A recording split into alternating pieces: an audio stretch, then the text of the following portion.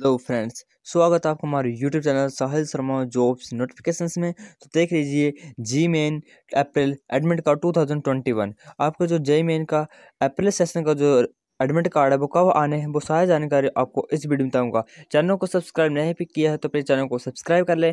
For the latest Indian government jobs के लिए। चलो वीडियो को शुरू करते हैं। तो देख लीजिए New Delhi National Testing Agency N T A is expected to release the JEE Main admit card will be soon तो आपका रिज़ल्ट टाइम वो पंद्रह अप्रैल को रिलीज़ कर दिए जाएँगे। आज है ग्यारह अप्रैल।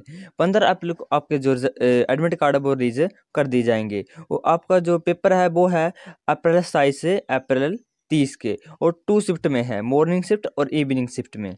ठीक है?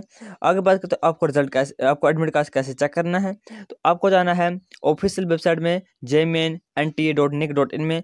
उसके बाद आपको होम पेज पर दिखाई देगा April admit card two thousand twenty one उस पर आपको क्लिक करना है, उसके बाद आपको अपना रजिस्ट्रेशन नंबर एप्लीकेशन नंबर उसको एंटर करना, साथ में आपको अपना डी ओ भी डालना होगा। उसके बाद आप एडमिट कार्ड वो डाउनलोड कर सकते हैं, ठीक है? चैनल को सब्सक्राइब कर लो, जब भी आपका एडमिट कार्ड आएगा तो आपको सबसे पहले नोटिफिकेशन मिल सके। Thank you and have nice day